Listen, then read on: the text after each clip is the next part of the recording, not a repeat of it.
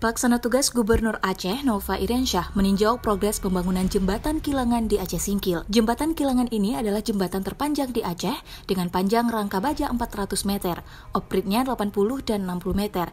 Kata Nova, didampingi Bupati Aceh Singkil, Dul Musrid, saat meninjau proyek pembangunan jembatan Kilangan Kuala Baru, Senin 14 September 2020. Pembangunan jembatan Kilangan, kata Nova, menunjukkan progres yang bagus, namun tentu ada kendala-kendala yang dihadapi selama pengerjaannya. Menurut Nova, jembatan tersebut akan tuntas dibangun pada akhir tahun 2022. Jembatan ini dibangun dengan skema penganggaran tahun tunggal, di mana anggarannya dialokasikan secara bertahap per tahunnya. Nantinya, jembatan tersebut juga akan terhubung langsung dengan ruas jalan Kuala Baru Aceh Singkil hingga Trumon Aceh Selatan, yang akan dibangun dengan skema penganggaran tahun jama atau multi years pada akhir tahun ini. Selama ini masyarakat di Kecamatan Kuala Baru harus mengarungi sungai, menggunakan perahu bot untuk melakukan mobilitas menuju pusat daratan di Kecamatan Singkil. Setidaknya ada empat desa di Kecamatan Kuala Baru Desa Kayu Menang, Desa Kuala Baru Sungai, Desa Kuala Baru Laut, dan Desa Sukajaya. Pembangunan jembatan Kilangan dan jalan dari Kuala Baru hingga Trumon